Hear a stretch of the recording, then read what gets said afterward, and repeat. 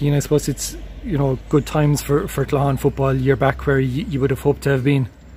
Yeah, no, I think it's the main thing was getting back up senior for us. Um, it's been a long kind of long 10 11 years I think since we went down and you know kind of getting to semi-finals finals of the intermediate and then just falling short so it was important last year that I think we got over the line because you know lot, uh, we have all kind of just been pushing to get back up senior and like it's it's it's where the club wants to be and you know it's where all our parents would have played senior football so we're, we're well used to hearing about it so it's good to be back up I suppose this year in the championship that, that first game against Landers, it would have been a huge thing to, to get off to a winning start. Exactly, yeah. I think with the, the groups of three this year was even more important because you know you kind of knew if you won one game that you more than likely were going to be through to a quarter final, and you know conversely if you were to lose your first game, you're kind of really up against it in the next week.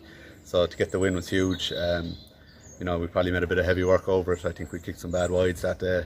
And but it was still great to come away with it, you know, and to win by a point and to dig one out as well is probably a good sign.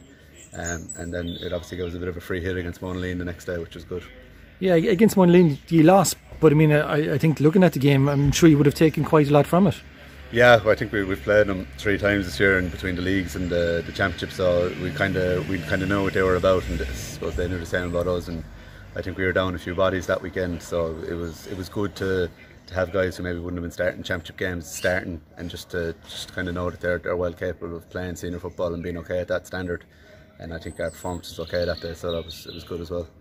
Newcastle West and Claughaun would be old rivals, but in, in recent years there there wouldn't be that that track record. No, I, have never played them, so um, at adult level, so that's it'll be exciting to play them anyway and just see um, you know they're the favourites to win it out. So it'll be a great test for us just to put ourselves up against the top and to see how where we are in our, in our own uh, development, I suppose. Yeah, I think if I remember back to Sam Mullins' speech last year when you won the intermediate, that you know I think it was we're back where, where we belong, where we wanted to be. I, am sure a quarter final where you're underdogs, you, will relish that chance. Yeah, it's um, you know it's a bit of a we can take a free hit at this. You know, um, to be in a quarter final, our first year back up is very important, and it's it's good. And you know we we know that it's going to be a tough game against Newcastle, and we, we know how good they are. They're always in finals, winning senior championships every year.